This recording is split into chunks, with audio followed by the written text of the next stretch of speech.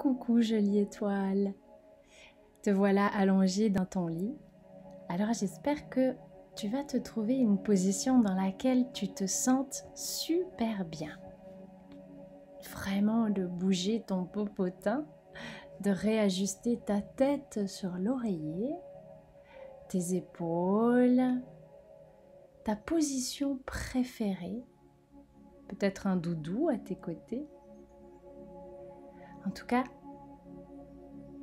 je voudrais vraiment que tu te sentes très confortable, prêt pour partir faire un voyage, un voyage dans ton monde imaginaire, un monde des possibles où le sommeil te gagne de plus en plus. Un sommeil profond et récupérateur, un sommeil qui puisse te faire te sentir vraiment bien pour demain matin. Alors je vais devoir te demander d'utiliser ton imagination. Une imagination que je sais débordante et pleine de créativité. Maintenant, je me demande si tu es capable de sentir les orteils de ton pied gauche. Et si tu fermes les yeux, arriverais-tu à imaginer un petit bonhomme, un petit bonhomme rigolo, comme tu as envie de l'imaginer, tout petit qui se tient sur le sommet de ton orteil, ton gros orteil? Et s'il se trouve là, qu'il puisse se promener sur tes pieds et ainsi t'aider à ressentir tous les orteils de ton pied gauche. Petit bonhomme qui se promène tout le long de ton corps jusqu'à ton genou. Et s'il était sur le sommet de ton petit genou, ton genou à gauche, peut-être tu sais si c'est la gauche à gauche, si c'est la droite à droite. Et si tu ne sais pas, c'est pas grave. Tu peux simplement choisir ton genou préféré pour commencer à sentir ce petit bonhomme et l'imaginer assis en tailleur sur ton genou. Et puis un genou, on le sent comme endormi, tu es d'accord. Il ne fait pas trop de bruit, il ne ronfle pas, il ne danse pas, il est très calme ce genou. Alors il faudrait essayer de parcourir un peu ce corps et ces endroits que le bonhomme pourrait venir explorer. Ce tout petit bonhomme. Tu pourrais imaginer qu'il vient s'asseoir dans ton nombril. Et s'il vient s'asseoir dans ton nombril, je me demande si cela bouge un tout petit peu. si ça se soulève lorsque tu respires et si ça se relâche lorsque tu expires. Et le mouvement de l'air peut-être amène un léger bercement à ce petit bonhomme assis en tailleur dans ton nombril, où tu n'as rien de particulier à faire, tu vois. Tu dois juste suivre ta respiration et le tout léger mouvement de ton bidou. Et le bidou, il fait des tout légers mouvements en même temps que tu respires, tu es d'accord? Et ça, tu peux facilement le ressentir. D'ailleurs, on pourrait presque demander à ce petit bonhomme imaginaire de venir guigner dans une de tes narines peut-être qu'il se surprendrait à trouver que ça ressemble à une grotte. Et peut-être qu'il sentirait le mouvement de l'air dans tes narines lorsque tu respires. Et ça lui fait de l'air sur le visage. Et si tu expires, peut-être que l'air est un tout petit peu plus chaud et quand tu inspires, l'air se rafraîchit légèrement. Et toi, tu dois surtout ne rien faire. Tu n'as pas besoin de te détendre, ni même de te relaxer, juste t'imaginer ce petit bonhomme invisible et imaginaire qui regarde à l'intérieur de ta narine et qui laisse ton air glisser sur sa tête et ses cheveux. Peut-être il pourrait marcher comme une petite coccinelle sur la pointe de ton nez jusqu'au milieu de tes deux yeux. Entre ton œil droit et ton œil gauche.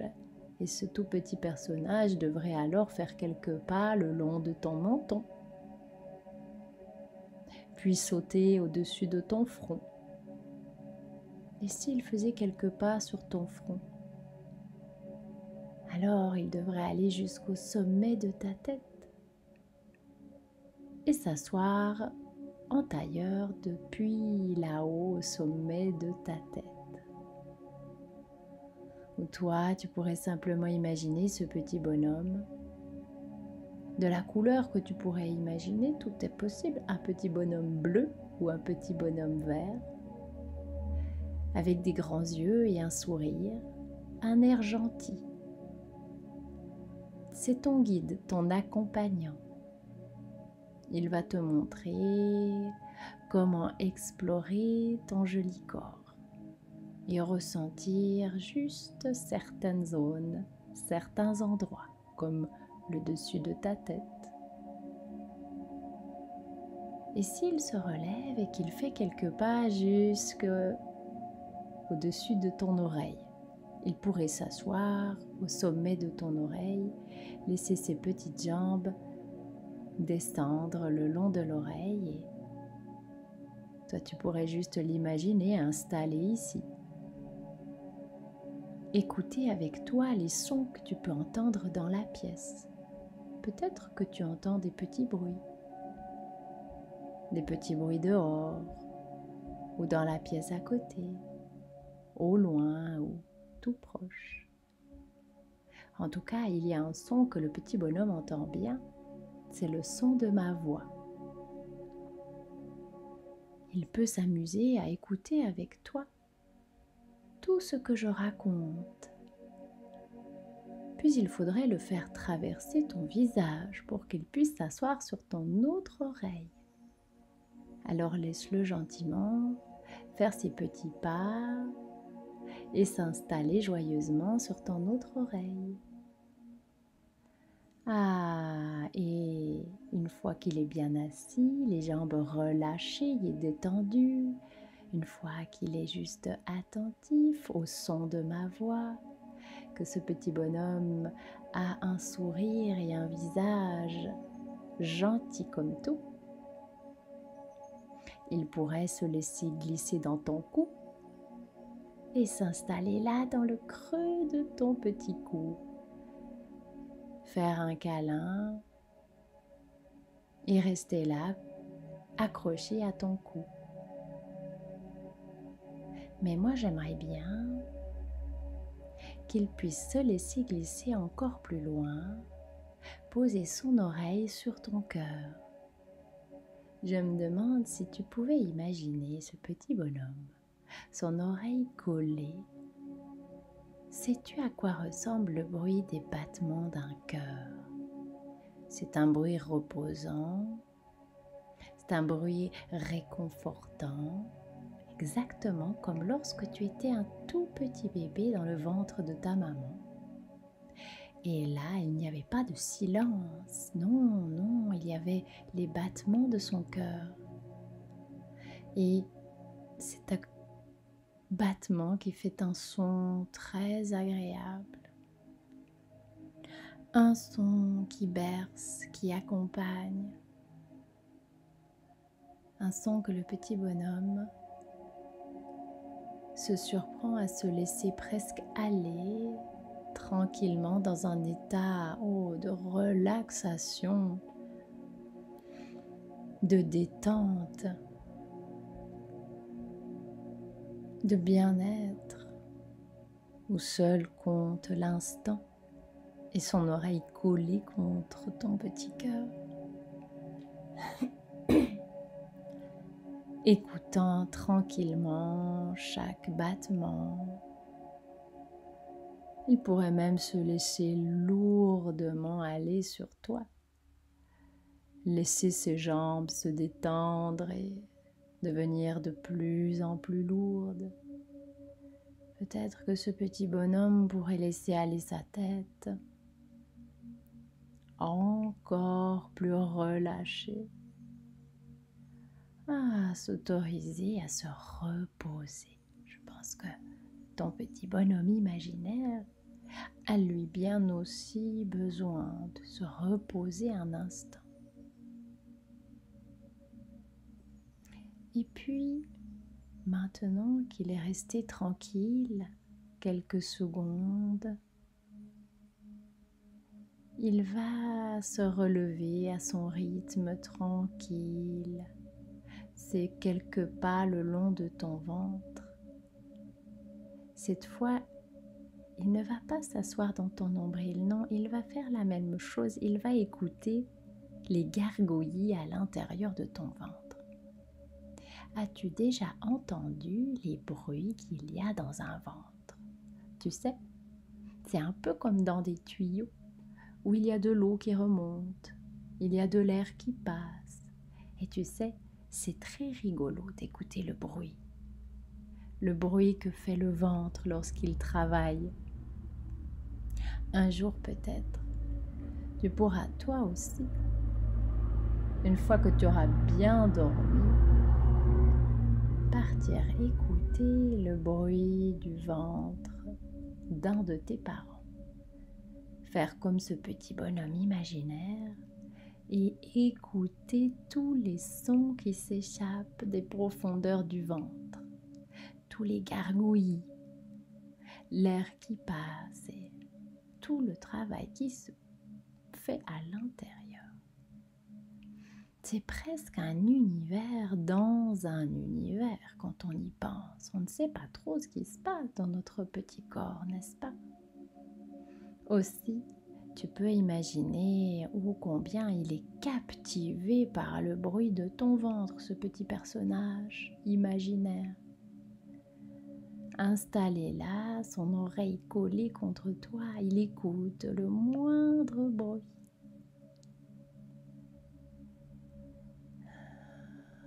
Puis,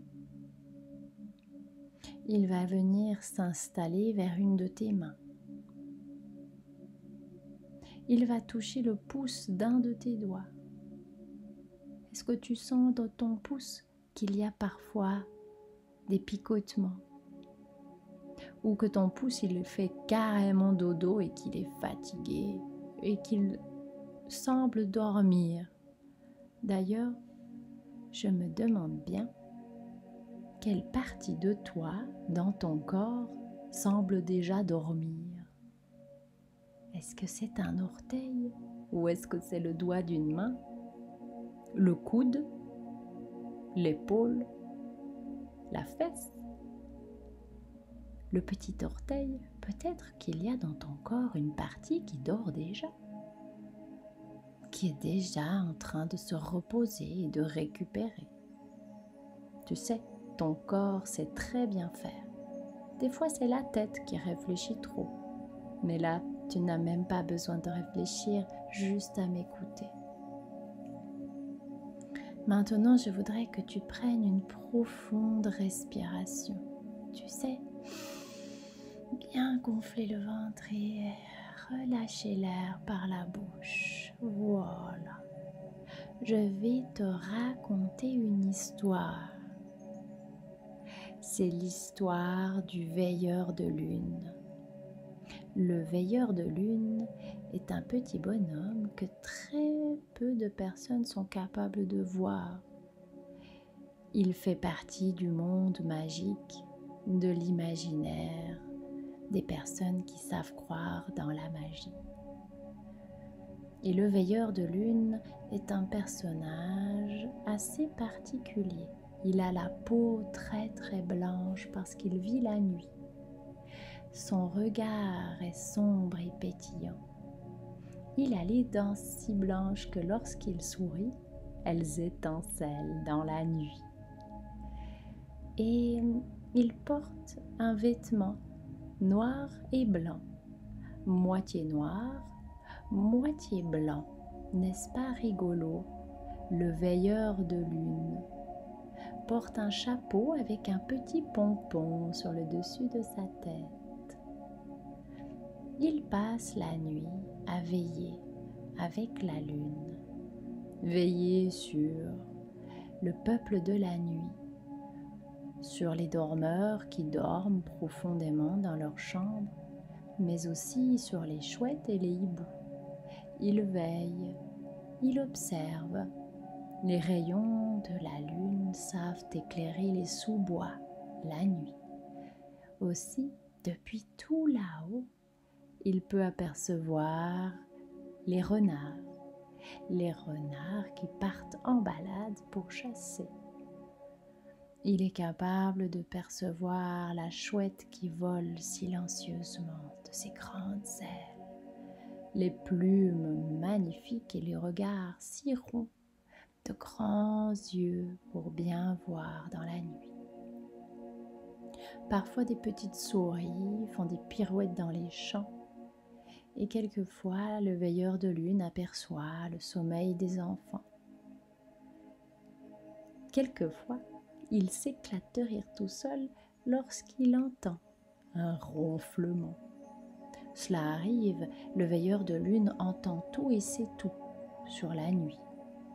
Il sait que la nuit, certains papillons, que l'on appelle des papillons de nuit, volent au travers du ciel et des étoiles.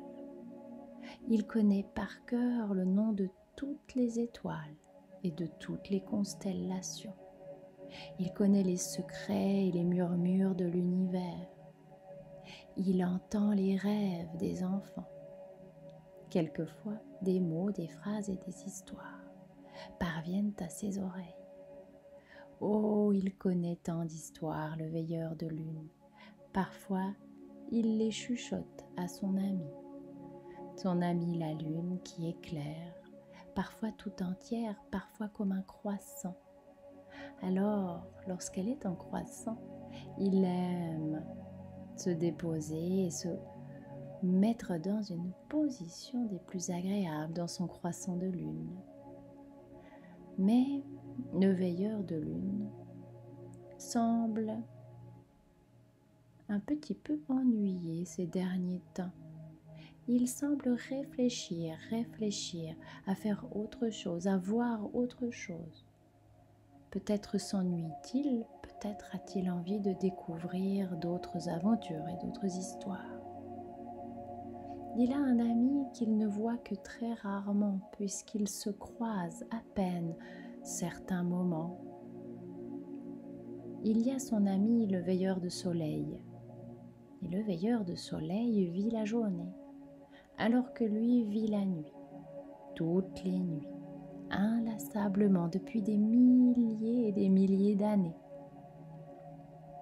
Un jour, il décide d'organiser une rencontre lorsque le soleil et la lune se croisent dans l'échange de leur journée. Alors, il appelle son ami et veilleur de soleil, veilleur de soleil.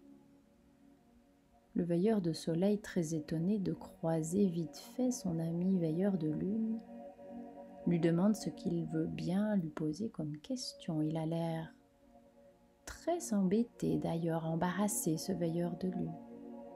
Mais il prend le risque et il demande Ne voudrais-tu pas, pendant une semaine, que nous changions de rôle?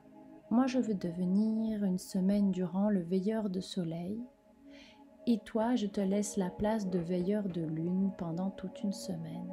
Je me demande si tu serais d'accord que l'on échange nos, deux rôles. Hmm, le veilleur de soleil, dans son habit jaune éclatant, le sourire aux lèvres, prend un air penseur et réfléchit. Hmm.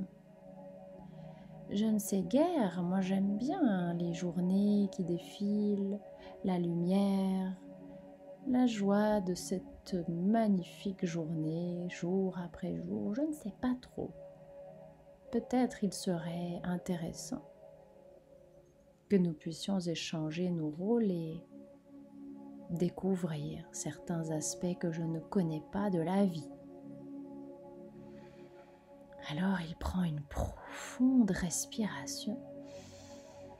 Le veilleur de soleil prend son élan depuis le soleil et saute d'un bond d'un seul sur la lune.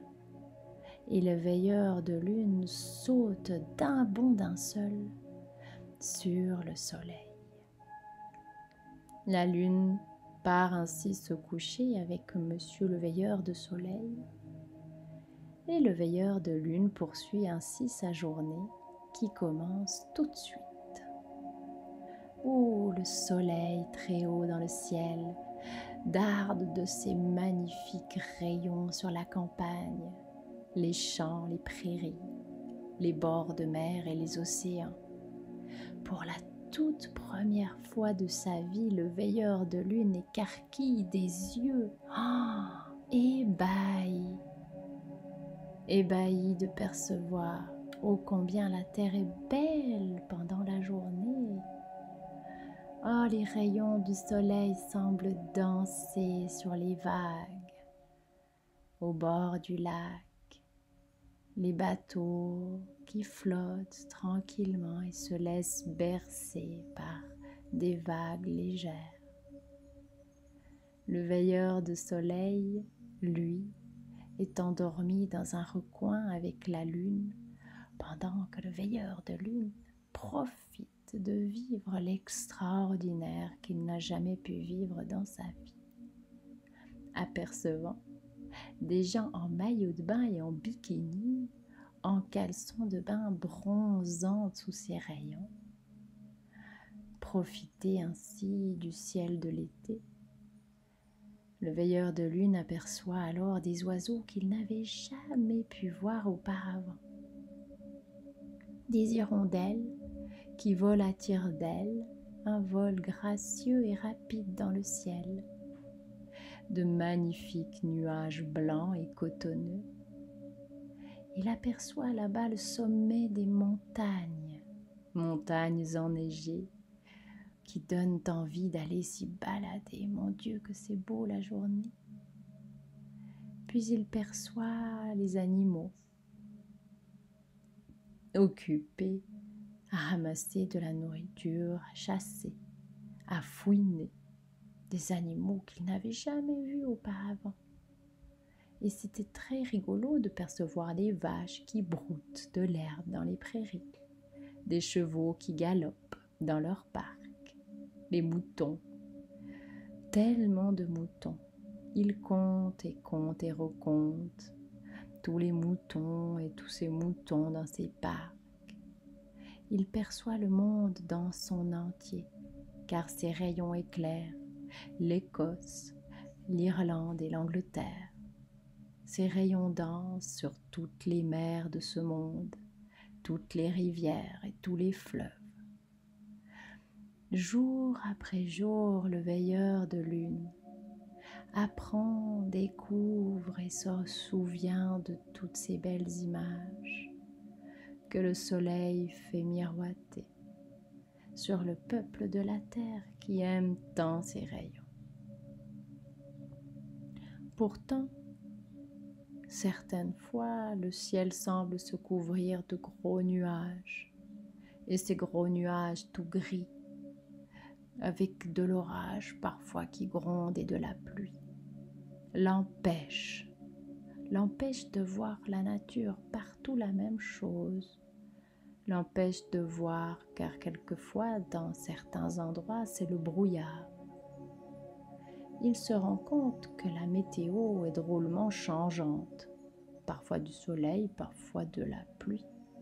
Cela l'agace un peu cette ah, ce manque de stabilité et de régularité. Alors que la nuit, tout est nuit. Et ça, ça le rassure ça lui fait du bien. En fait, il se rend compte que le temps est très changeant pendant la journée et que même pendant une semaine, lorsqu'il fait beau dans un coin du pays, il fait moche dans un autre coin. Parfois, il y a des ouragans, des bourrasques et des tempêtes. D'autres fois, il y a carrément des tornades, des orages violents et finalement tout ça le fatigue.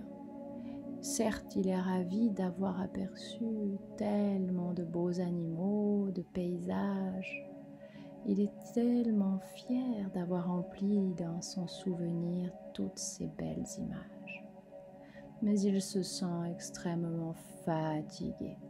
À la fin de la semaine, notre pauvre veilleur de lune commence à avoir des cernes sous les yeux et son humeur n'est plus la même.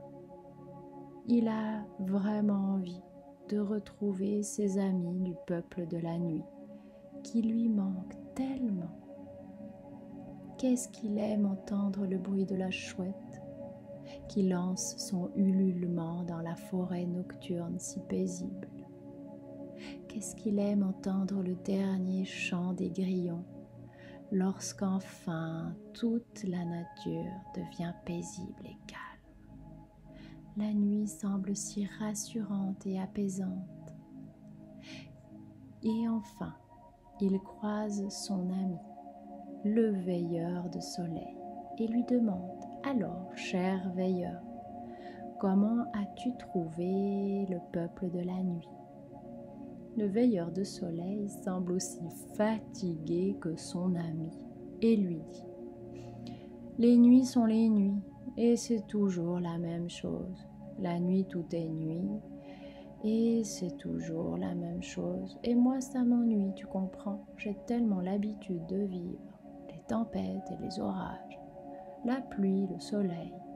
Tout cela me réjouit et je me rends compte que finalement, je ne suis pas le veilleur de soleil pour rien. Je me sens bien à ma place. Je me sens bien et fort utile. Oh, lui dit le veilleur de lune, comme je te comprends. Comme je te comprends. Pour moi, j'ai vécu la même chose que toi. Je préfère largement mon monde de la nuit, car pour moi la nuit est sécurisante et rassurante. Tout est paisible tout est calme. Et la nuit, c'est la nuit. Et moi, c'est mon peuple et ma vie. Très content, ils se serrent la main et se font un grand câlin, se remercient d'avoir vécu une telle aventure. Et c'est avec un grand soulagement chacun retrouve son élément. Monsieur le veilleur de lune retourne dans sa chère lune et Monsieur le veilleur de soleil retourne dans son merveilleux soleil. Et c'est la nuit qui est de nouveau présente. Il y a un sourire de satisfaction qui se dessine sur le veilleur de lune. Il regarde avec calme et sérénité ces merveilleuses étoiles qui illuminent le ciel, comme si chaque étoile représentait chaque souvenir, chaque mémoire du monde, comme si chaque étoile était un diamant unique, venu briller sur le peuple de la nuit, venu montrer la beauté, la sérénité et le calme merveilleux lorsque la nuit est tombée. Parfois en été, il y a des étoiles filantes qui traversent le ciel, rapides et légères à la fois. Elles semblent propices à faire un vœu lorsqu'on les voit. Et puis, certaines fois, il y a dans des pays lointains ce que l'on appelle des aurores boréales laissant une traînée magnifique dans le ciel un peu verte, comme en Finlande ou en Norvège. Mais cela ne se voit que la nuit. Aussi, le veilleur de nuit embrasse à nouveau du regard les animaux de la forêt. La nature endormie et certains papillons de nuit pleins d'énergie. C'est sa vie et c'est son peuple. Et il semble ravi d'être suspendu ainsi sur cette merveilleuse lune, lune qui parfois laisse ses rayons argentés lorsque les enfants dorment profondément, entrer jusqu'à l'intérieur de leur cœur, nourrir des souvenirs et des rêves, des rêves où les rayons dorés, comme les rayons argentés de la lune, viennent glisser sur une mer paisible comme en vacances. Lorsque la nuit vient et que tout le monde se repose, les rayons de la lune, eux, dansent. D'ailleurs, ils ont une mélodie personne ne peut entendre à part le veilleur de lune. C'est une douce mélodie, enchanteresse, légère, une mélodie qui danse à travers les oreilles, le cœur la tête. On raconte que sur la lune, le veilleur de lune connaît les secrets du sommeil les plus profonds, car quelquefois il se laisse glisser le long d'un rayon de lune pour venir murmurer des histoires de voyages, de pirates, des histoires de châteaux forts, de princes et de princesses, des histoires d'aventures, d'aventuriers ayant parcouru vents et marées, chemins et montagnes, vivre l'histoire du héros. Et lorsqu'ils murmurent ces histoires au creux des oreilles des enfants, ils emplissent ainsi dans leurs rêves des aventures extraordinaires des aventures où ils voient dans leur esprit se dessiner des villages, d'autres enfants, d'autres aventures, comme celle de ce tout petit chien, un petit chien au poil tout brun, les yeux noirs et pétillants, s'étant promené bien trop longtemps perdu au fin fond de cette forêt.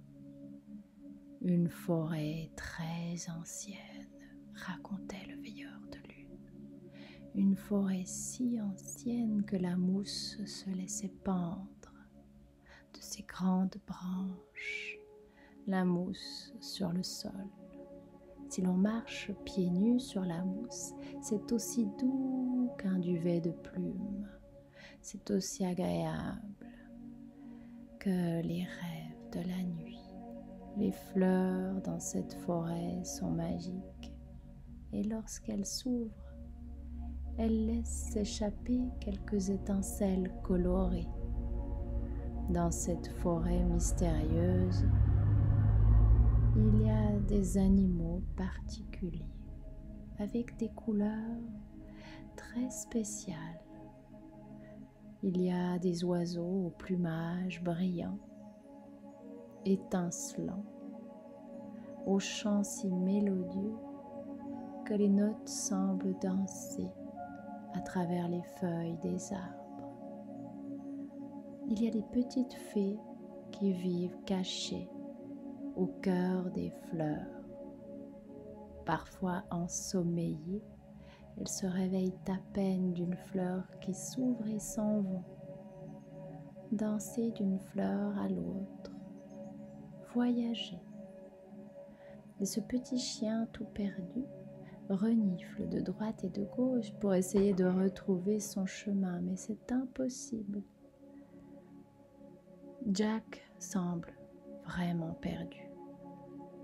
Il ne sait plus où se tourner, où aller il aperçoit là-bas un peu plus loin une toute petite rivière, un ruisseau pour ainsi dire. Un ruisseau avec une eau si cristalline et si pure qu'il se réjouit pleinement d'aller enfin se désaltérer un peu et se reposer avoir tant marché les jambes de ce petit chien si fatigué. Oh, une sieste bien méritée, sous le regard attentif de monsieur le veilleur de soleil. Le veilleur de soleil s'était aperçu de la balade et de l'égarement de notre ami Jack le petit chien. Aussi, il se laissa glisser le long du rayon de soleil, venir raconter une histoire à l'oreille de ce petit Jack endormi. Jack était petit, mais il ronflait, un petit chien qui ronfle.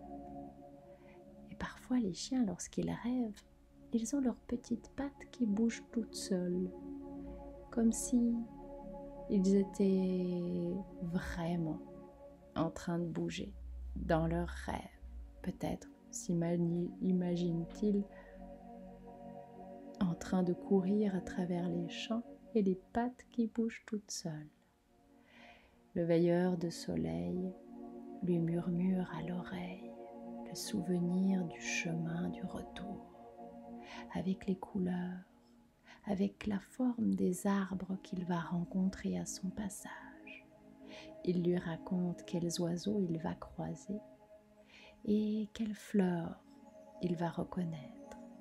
Bien sûr, Jack n'entend rien pour l'instant, mais dans son monde, il y a le souvenir de l'histoire à jamais gravé dans son esprit, aussi discret qu'une toute petite fée, notre ami le veilleur de soleil se laisse à nouveau glisser le long du rayon de soleil pour revenir au cœur du soleil qui brille. Enfin, notre ami Jack se réveille et le soir commence déjà à venir.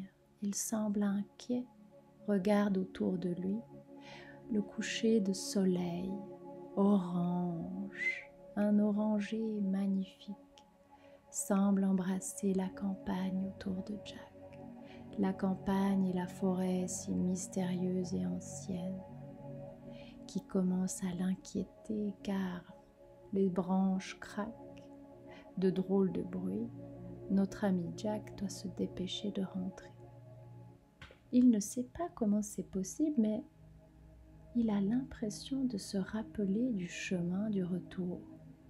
Tiens, se dit-il, je reconnais la forme de cet arbre et je reconnais ses fleurs. Il avance tranquillement au rythme de cette drôle d'impression de reconnaître le chemin du retour.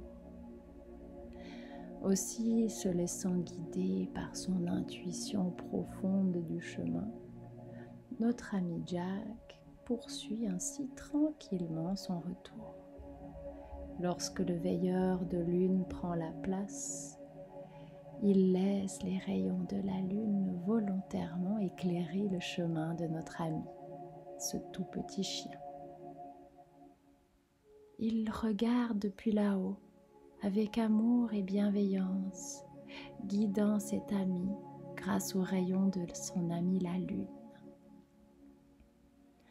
Notre ami Jack, enfin, aperçut au loin une maison, une cheminée, laissant dans le ciel un peu de fumée. La grange qu'il reconnaît, il arrive en courant de joie, il aboie, il jappe, il jappe tant et si fort que ses maîtres sortent. Quel soulagement se dit-il, je suis arrivé en pleine nuit, mais je suis bien rentré chez moi Jack se trouve à nouveau dans son joli panier au coin du feu. Et là, il prend une position des plus confortables. Oh, il est tellement bien installé. Il n'a plus qu'à passer le reste de sa nuit à rêver, à récupérer.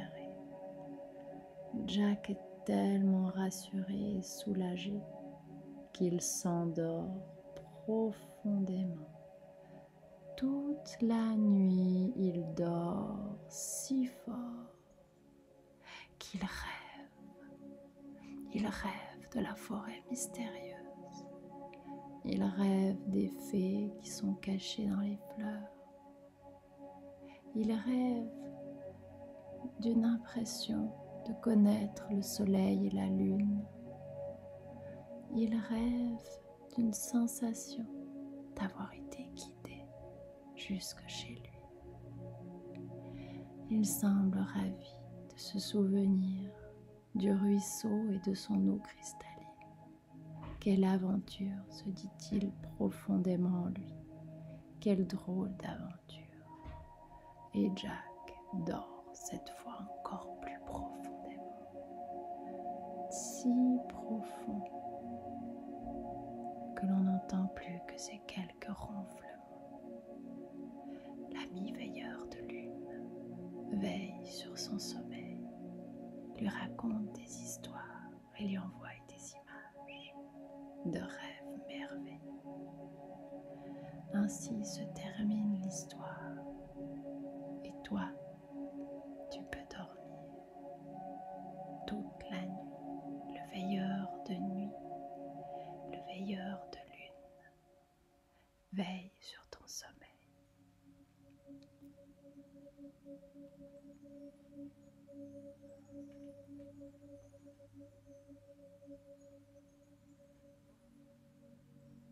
Thank